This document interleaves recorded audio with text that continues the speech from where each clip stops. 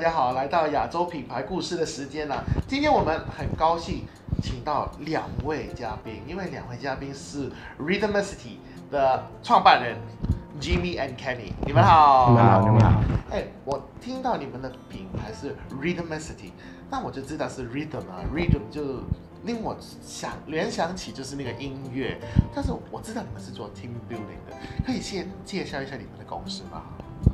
呃，我我们的 Rhythmicity 呢是一个是一个呃是一个 team building 的公司，嗯，而且它这个公司呢会是，其实在于这个公司是我们是专呃比较迈向，比较迈向一个一个节奏式或者是叫做一个 entertainment，education entertainment。嗯，但是我知道。其实啊，team building 这个呃题材在呃现在的那个 commercial world 是非常的大的，因为很多公司都希望他们自己的员工，或者是不是公司是团体都好了，都希望他们自己的一些会员啊，或者是参与者会是整个 team 去做的，因为我们知道就是一加一不是等于二，可能是更大的数字，但是。就是有这个需求，他们的 competition，他们的就是这个竞争就非常之大。那你们在 team building 这方面用呃 rhythm 或者是用音乐来做 team building 有什么的优势，或者是可不可以介绍详细一下是怎么样去做 team building？嗯，那就要从呃我们的背景开始了。嗯嗯。So 呃，当我我们在这一行业呢，已经是差不多整十年、十一年了。嗯。然后当中呢，我们会有当中，尤其是我我发现到。当我们做这些 team building 的时候呢，嗯，呃，对啊，有些人就是在 team building 里面的时候，在那一两天或者那三天，嗯，所以有很多人都觉得哇很积极，很很积极讲哦是啊，我要突破自我这些。可是呃，当回到当回到去呃原地的时候，就是说马云所讲的咯，梦里想想千条路，白天还是走远。对，就当他们回到回到回到他们的公司的时候，因为可能是因为他们的呃啊，他们的他们的 around 啊，他们 surrounding，对，他们的环境，他们公司的环境，呃呃，备受影响到，就会把他们把，虽然是他们在在于 team meeting 的时候他们很积极，可是回到去的时候还是会打回眼。就是 motivate 不够啦。呃，motivate 是 其实是见仁见智咯，因为因为 motivation 这个东西呢，其实是不是呃外界影响到你的。是自己影响自己，对对对对所以如果是当你自己是觉得，哎，我一定要达到，而且是我们所谓的叫念力哦。嗯。所以如果是我的意愿或者是我的念力很强，我想要成功，所以当然什么关关难关关关过吧。对。但是如果是普通的 team building，就我认识的就是可能一群人去做，呃，就是叫叫一些口号啊，或者是一群人去呃完成一些 task 啊。但是如果透过音乐去做 team building 有什么不同？音乐的特别呢是在于，好，就是我用这个故事了。嗯。好，呃，小的时候呢，我们每一个人都有最喜欢的故事，呃，儿歌。嗯。说什么儿歌呢？就大概有时讲说，我会选择选择 A B C 啦。对对对。或者说有时候我选择客人来啦。对对对对。说当今天的时候，你还会唱吗？今天有小孩子的时候会唱吧。对了。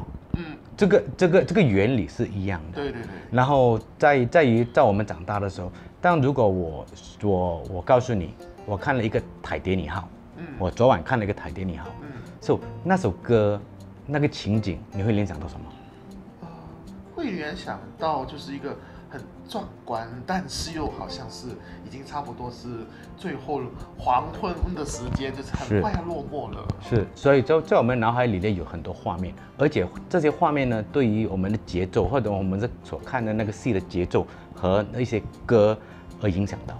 嗯，就是它会连接我们脑海里的画面。所以当当我们讲说有什么不一样呢？就是透过我们这些节奏师或者是音乐师的的的的 team building。所以，我们希望我们可以把一些重要的讯息，嗯，不只是表意识传授给他们，而且是要把它表意识在同样的时间，我们要把它放，呃，就把它埋在潜意识里面。哦，哎，这个我们听下来就是有点深哈，但是这我我我就开始就感觉到，就是音乐就好像是一一种东西，就跟我们就要叫口号啊，或者是呃做一些东西不同，因为那些我们是。只是一次过，就是在你以前没有试过的，但是就是在这里，我们就呃可能呃我们试过一次啊，很好玩，但是三天后因为很多工作就忘记了，就忘。但是音乐又不一样，在这里。一听到以后，就变成了一个永久的那个 memory。那这个永久的 memory 对你来说就是一个呃很好的一个 memory，所以就可以开始就是慢慢用这个原理去令到你们整 team 们，啊，我们有个很快开心的时间啊，或者是什么，是不是这样的理解？是是哦，那其实一一一个群组来 team building，通常要多少人才可以开始？嗯，小是十八八八到十。你们会做这些 team building 的时间，通常是要多少钱？或者是你们的对象啊，公司可能是中小企业，还是一个大的企业？还是你们会怎样去找你们？就是是不是每一个公司都呃合适去做这个，和每个团体都合适去做？你们的对象是什么呢？呃，我们的对象呢，其实呢，在讲说我们团体建设的话，每一个单位、每一个组织都是需要的，然后只是呃。大有大做，小有小做。嗯，所以有些小的，就是可能就是呃小的企业呢，他们通常就会谈做我们一起去啊吃年饭啊，呃去打保龄球啊，所以就是一个一个一个一个呃互动，嗯，一个互动。然后如果是当然大的时候，你不可能说哦。找一些，我去打一个保龄球，那个两百多个人到一个一个一个省队里面，就会比较就觉得很奇怪，对对，就很奇怪。所以得算呃，在于 team building 方面呢，其实是一个这这是一个必须的，哦，这是一直必须的。再加上现在我们有两个不同的阶段的呃的的 category，就是一些比较呃。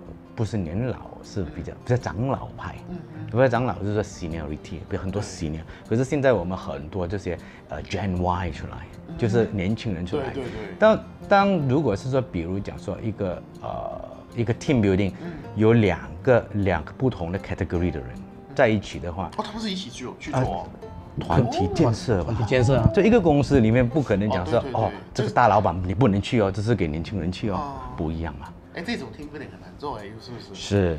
但是你们为什么会做得到？因为其实很多老板啊，现在如果在看的话，他们会在想啊，永远就是呃，老板跟年轻人是不可以就是一起做的，因为他们就会可能老板会很大火的，因为就是说，哎，年轻人你这样子不对。但是怎么可以把他们融在一起啊？那这融在一起呢？其实如果是跟于音乐或者是节奏来讲呢，其实。呃，他们的长老派呢，长老他们呢，他们是有他们的节奏，嗯，他们工作节奏，嗯，说年轻人呢，现在的年轻人呢，我会讲说，如果是在《西游记》的呢，他们他们就是好像一个一些孙悟空，嗯，他们他们就是要打斗奋斗，而且他们要的，他们所要的回报或者回酬，已不是以前这样我们讲说，哎，要钱。哎，但是我想问一下，现在就知道你们公司的那个做的范畴是这样，那你们的发展是怎样？现在现在是针对马来西亚还是其他的市场？你们也可以去做呢？也可以去做，我们在其他市场也可以去做。然后呃，尤其在马来西亚，马来西亚对我们来讲会比较挑战。嗯，因为呃，马来西亚还未至于到他们的他们接受度不会那么强，所以尤其是在去年，在去年的时候，我们一直把这个。把啊尝试把这个 program 推广，把这 team building 推广当中呢，当然是有一些呃小阻碍啦。对，那小阻碍就在于有些老板就觉得啊，你两天音乐啊，是不是只是玩音乐，打一下鼓啊，弹一下吉他啊，这样就这样这样到底是怎么一回事？当我们在在解释给他们听的时候，他们觉得哦这样啊，这样我的如果我的员工上了。上了这个这个 team building 之后，你呃会得到什么？因为如果是我们讲说一些比较普通的 team building，他们会觉得，当如果十个九个都会讲说，哎，你上了这 team building 好玩吗？好玩啊！你学到什么？你你得到什么？哇，很累哦。哦，对对对对，这个我也知道，尤其是就是在那些户外，大家要一起就做什么什么爬高、爬低、爬低，对对对对，是。可是你现在试想一下，如果是当一些新的员工或者比较年轻化一些年轻人，你叫他们这样爬上爬下的话，他们会觉得，嗯嗯，他们就就就会 MC 啊。哦，这个这个这个是当然，就就有时因为他们有些我们。说呃，我们尤其是我们做一些 team building 的，我们是希望是不只是在这两天或者在这三天里面，他们会有一个团体的一个精神。可是我们想要，我们宗旨是要把这个精神带回他们的公司里面。当然，一边手牌不行，嗯，一边手因为要互相配合，是要不配合的。哎，那你们现在就是去了哪些市场？在香港或者是呃其他？暂时我我们我们今年呢，呃我们去年呢，我们去年呢还是在马马来西亚，嗯嗯，对吧？然后今年我们会会会想要发展出外。哦就比如讲印尼啊，呃，中国啊，香港啊，就呃是是要把这用意是要把这个所谓的呃 entertainment，再再再再把它啊广散。哎，应该其实我觉得，因为现在 team building 这个就是在每一个企业里面，很多老板都想做，但是很多老板也不知道在哪里可以找到。当你找到以后，又不知道是不是。efficient and effective。对，因为对他们来说，就是好像你说了，就是哦，问问朋友，朋友的公司啊，做了那天很好玩，嗯，之后就其实就是打回原形。是是是。所以就我觉得，就是在亚洲区或者是在全世界，这种品牌或者是这个生意，应该是很好做。那发展呢？除了今年你们就 target 是 Indonesia 是和 China，嗯，呃，香港，会不会？把这个整套的品牌课程，会把它去呃再上一个高峰，或者是世界，或者是其他地方。那当然，如果是有这这些机会的话，当然会了。嗯。然后，因为呃，我说，尤其是呃，在于，因为我本身是一个音乐人。嗯。所以呃，有一个有一个 saying，which is 我一直带到我长大。嗯。就是呃，music music is a is a universal language。对。So there's no barriers, it's just passion.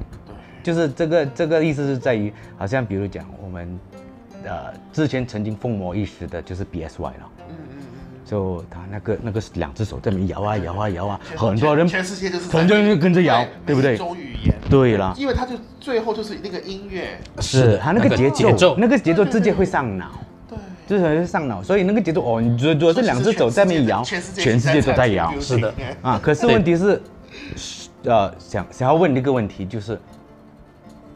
他所写的这些，那这些呃词，嗯，的意思是什么？对，你说十个，两个懂。嗯，你说欧巴，哎，欧巴，哦，我就从那个 Gangnam Style 那边才知道这个是欧巴，是叫哥哥了。嗯嗯嗯，对不对？所以这个也是一个一个一个一个方式。对，一个方式，比如讲说，如果是把它带回来，我们这些这些 team building，嗯，当他们来的时候，我们所要的所谓的呃。我们要的 debrief，我们要的他们的 message，我们我们的讯息，我们想要传给他们的话，我们想要借用不同的管道。嗯，我们希望能借用不同管道，因为如果如果是我们讲说比较传统式，传统式的的的的 team building 呢，它会比较是在于 no pain no gain。你一定要哭，他们对他们就是把你把你弄哭，或者是把你弄到就是一种，就是精神上面要破裂，对对对对对对对，然后就有一个人走出来，哎，这个这个是救世主一样，好才有你，然后就一个工作上面就我什么都全靠你，或者是我是一个 team，那这种我就觉得这种方法很辛苦。是，这以前的人呢，就是觉得对，因为要拼才能赢嘛。可是现在我们呃现在的年轻人的话会比较迈向，哎。那你要怎样合作？要怎样配合的？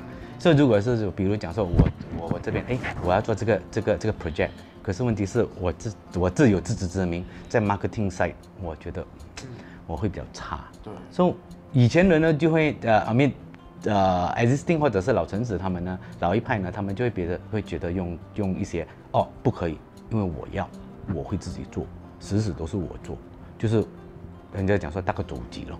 然后可是呢，现在的又不一样，好像我会会找到互补，会觉得哎，你这个 marketing 你可以做 marketing 的，倒不如我们配合一下。对对。所以所以很多现在很多公司呢，尤其是比较 MNC 公司呢，他们会有这个这个这个呃这个 district 或者是这个 procedure，就是他们 internally 他们会有一个 crossover。对。